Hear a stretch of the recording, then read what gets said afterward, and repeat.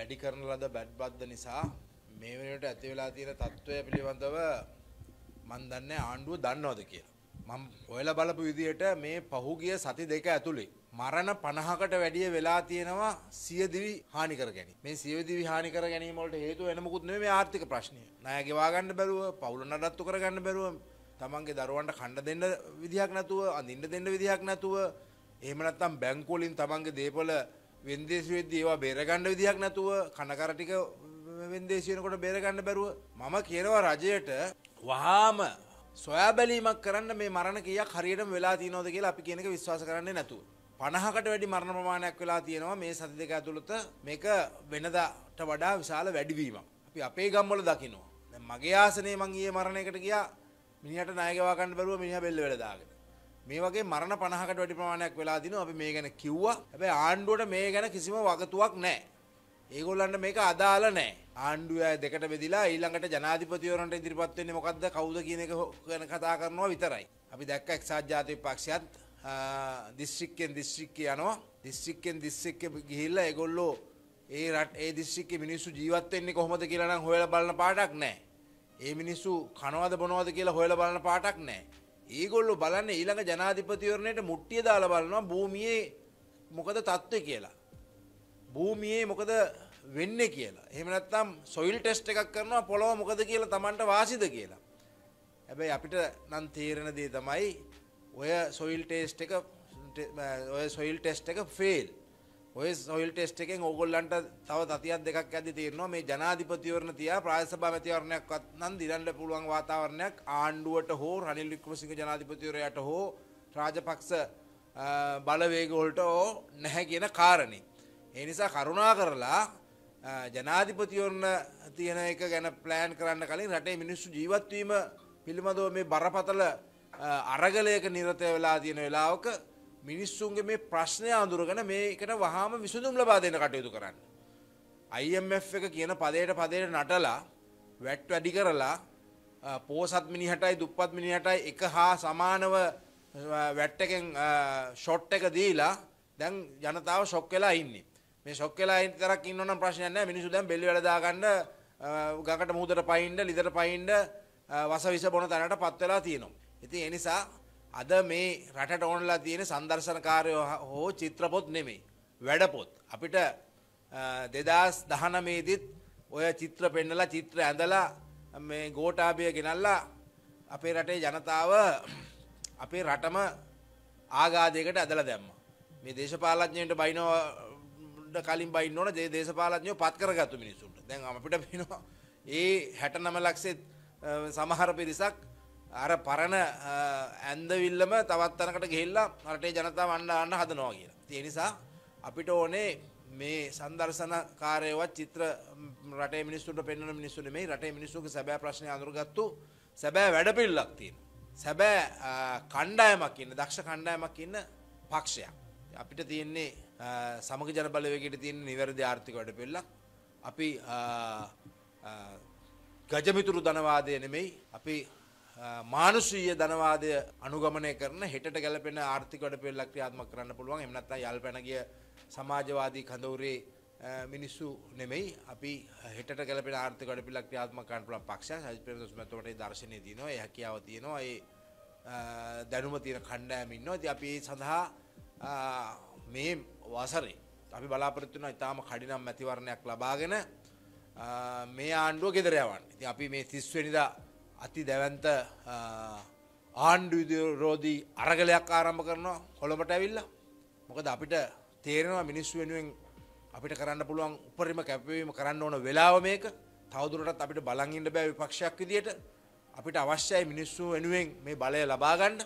ඒ බලය ලබා ගැනීම සඳහා වූ සකල විද ක්‍රියාමාර්ග ගන්න අද සමග ජන බලවේගය සජිත් ප්‍රේමදාස මැතිතුමත් එක්ක ඒ වගේම අපිත් එක්ක එකතු වෙලා ඉන්න සිවිල් සංවිධාන ඒ වගේ අනෙකුත් සංවිධාන අනෙකුත් පක්ෂ එක්ක එකතු වෙති පුළුල් සන්ධානය ගොඩනැගිමින් අපි බලාපොරොත්තු වෙනවා මේ 30 වෙනිදා මේ ආණ්ඩුවත් එක්ක මේ ගනුදෙනුව පාරදී විසඳ ගන්න බලන්න. අපි දන්නවා දැන් මේ ආණ්ඩුව පොලිසිය එහෙම නැත්නම් කඳුළු ගෑස් බැටන් ප්‍රහාර ඒවත් එක්ක තමයි පහුගිය වසර ගත කරේ. ඉතින් ඒ කඳුළු ගෑස් බැටන් ප්‍රහාර වලට වඩා අද ජනතාවගේ බඩට ප්‍රහාරය එල්ල වෙලා තියෙන්නේ.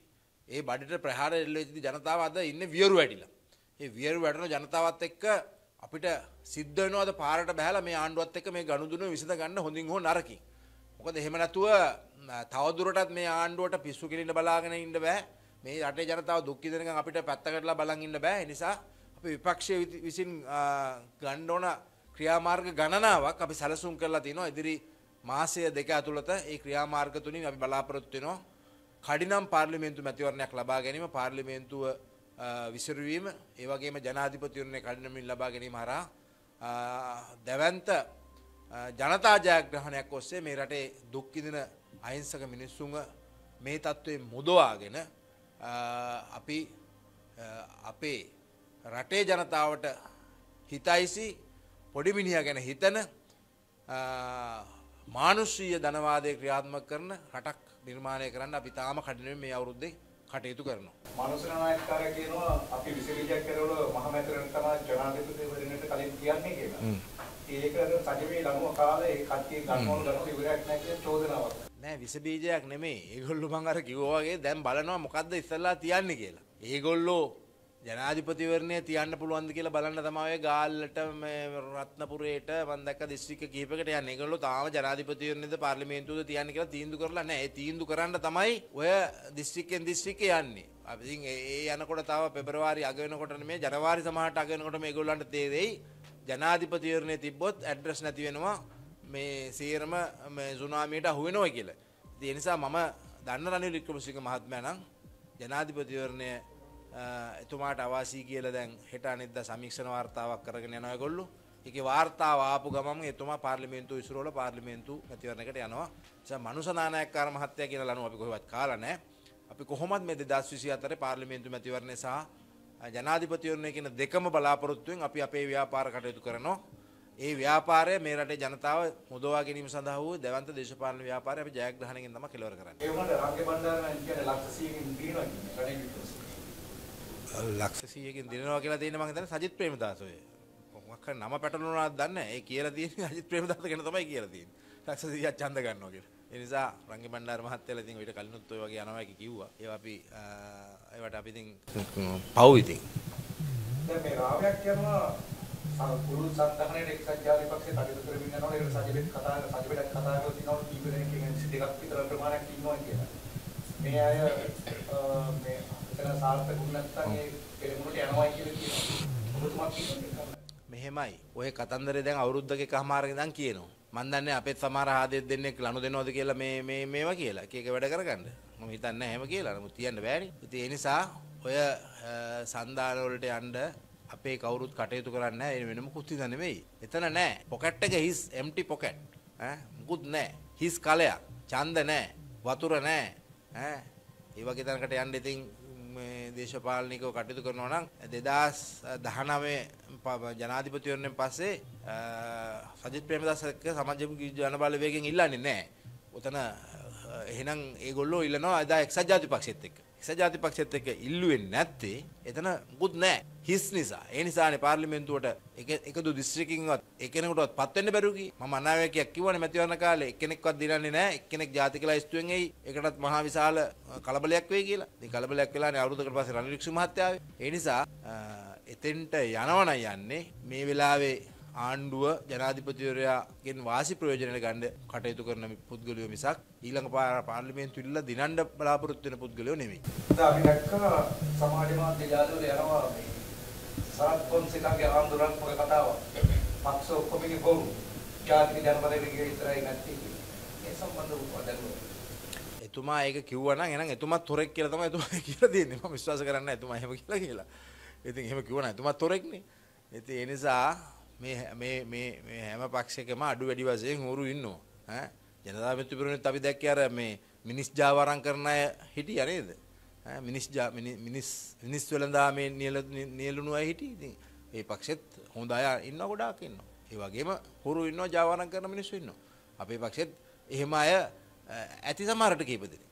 ඒ වගේම අනෙකුත් පක්ෂවල දැන් ආණ්ඩුවේ රාජපක්ෂ ආණ්ඩුවේ හිටපු අය නම් ඉතින් 99%ම හොරු තමයි එතන බොහොම සුළුත් ප්‍රමාණ පරිසක් තමයි ඉන්නේ හොඳ මිනිස්සු. ඒ කියන්නේ ওই පාර්ලිමේන්තු മന്ത്രിවරු නම් ඉන්නවා ඉතින් අහිංසක මිනිස්සු ටික.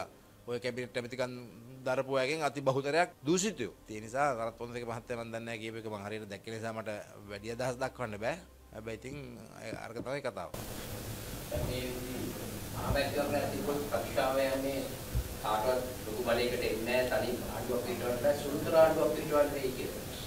ඔබතුමාත් ඒ වගේ නෑ මගේ එහෙම අදහසක් නැහැ. මොකද අපි සමගි ජන බලවේගයේ විදිහට මේ රටේ අ, සියලුම පළාත්වල සියලුම දිස්ත්‍රික්කවල අ, යාන්ත්‍රණයක් තියෙන සංවිධානයක් තියෙන පක්ෂය අපි. ඉතින් අපේ බලාපොරොත්තුව තමයි 113කට යාගේ බලයක් ලබා ගැනීම. ඉතින් ඒ සුළුතර ආණ්ඩුවක් අ, ගැන කතා වෙන්නේ සුළුතර බලයක් තියෙන අය. ඇද අපිට එහෙම අවධානමක් නෑ අපිට අවශ්‍ය වෙලා තියෙන එකයි මේ මැතිවරණයක්. අපිට පළාත් පාලන මැතිවරණය අහිමි කරලා දැම්මා. එහෙම නම් අපි පෙන්නනවා කාටද බහුතර බලය තියෙන්නේ කියලා. ඉතින් අපිට සුළුතර ආණ්ඩුවක් හදන්න වෙන්නේ නැහැ කීයටවත්. අපි අනිවාර්යෙන් දිනනවා. අපි තමයි දිනන බලවේගය. අපි අනිවාර්යෙන් අපි හදන දැවැන්ත සන්දානය හරහා අපි බහුතර බලයක් තියෙන ආණ්ඩුවක් නිර්මාණය කරනවා. දැන් ඔබ ආණ්ඩුව හැදුව විපක්ෂයේ ජීවිතයකද ආණ්ඩුව ඇදුත් විපක්ෂය ජීවිප එකද පොහොට්ටුවද කියන එක පිළිබඳව අපිට ඒක තාම අනාවැකි පල කරන්න බෑ. කොහොමනත් පොහොට්ටුව ජීවිප එක UMP එක ඔය අනිත් කණ්ඩායමට පොඩි පොඩි ගනම් බෙදිල බෙදිල යයි. ඒක ඊට පස්සේ බලන්න ඕන. එකෙන් දෙකෙන් මිස්වෙයි විපක්ෂය නෑ මෙහෙම ජීවිප එක. යම් මාළි අභියෝගයක් අපි අභියෝගයක් නෙමෙයි කියලා කියන්නේ නෑ. අභියෝගයක් දැන්ට තියෙන භූමියේ තත්ත්වය අනුව භූමියේ ඉන්න යාන්ත්‍රණය අනුව ක්‍රියාකාරීත්වය අනුව අපි ජීවිප එකේ තමා ඒ භූමියේ සටන තියෙන්නේ. හැබැයි ඒ භූමියේ සටන තිබුණාට අපිට තියෙන අ, රට පුරා වෙහිදිලා තියෙන ශක්තිය උන්ට නැහැ. උන්ට යම් යම් දිස්ත්‍රික්කවල යම් යම් පළාත්වල යම් අ, වෙනදට වඩා යම් ප්‍රගතියක් බලයක් අපි දකිනවා.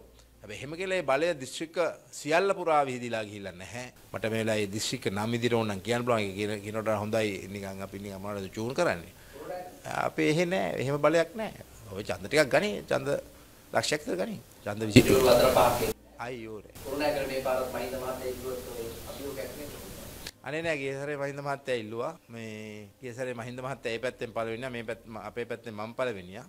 මේ පැත්තේ මේ සැරේ ඉතින් මහින්ද මහත්තයා ඉල්ලුවොත් මහින්ද මහත්තයාට පාර්ලිමේන්තු මන්ත්‍රී ධූරයක් වගේ නම් ලබා ගන්න පුළුවන් වෙයි ඔය මනාප 50000ක් විතර අරගෙන. ගිය සැරේ ලක්ෂ 5ක් ගත්තා.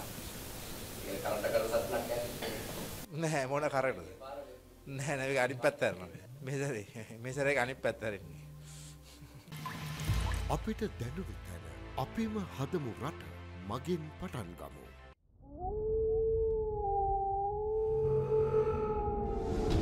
The News Reporter වාරණයෙන් තොර අපක්ෂපාති වාර්තාකරණය